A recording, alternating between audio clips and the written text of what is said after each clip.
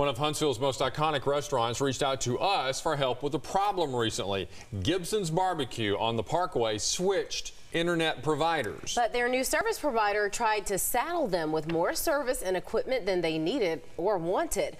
And then the bills came in. WHNT News 19's Al Whitaker is taking action and getting results.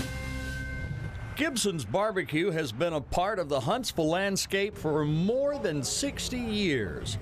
Well, earlier this year, they decided to switch telephone and internet service providers. AT&T came in with a great price. Um, we've been really happy with the service that we received from AT&T. But shortly after making the switch, this box arrived. It was full of electronic tablets like iPads.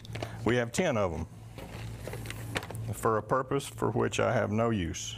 The tablets were intended to replace the paper pads that Art's waitresses used to take customers' orders. But for our style, we prefer to write. Art called the folks at AT&T and says they told him it was part of his package and he didn't have to use the tablets if he didn't want to.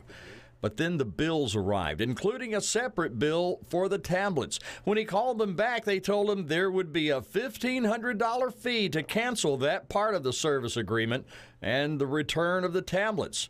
And that's when he called us. Well, I went straight to AT&T's corporate offices in Atlanta and explained the problem. It took a couple of days, but they got it fixed. I talked to AT&T on the phone today and the rep, who was super nice, said they were going to take the tablets back, no cost to us, plus refund us any money associated with the tablets.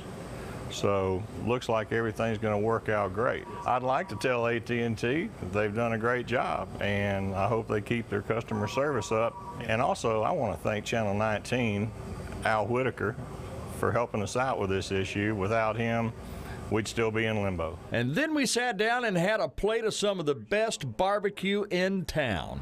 The folks at AT&T declined to be interviewed or even make a statement for this story, but we wanted to tell them that we appreciate their attitude when we brought the problem to their attention, and we especially appreciate the expedient manner in which they worked to get it resolved.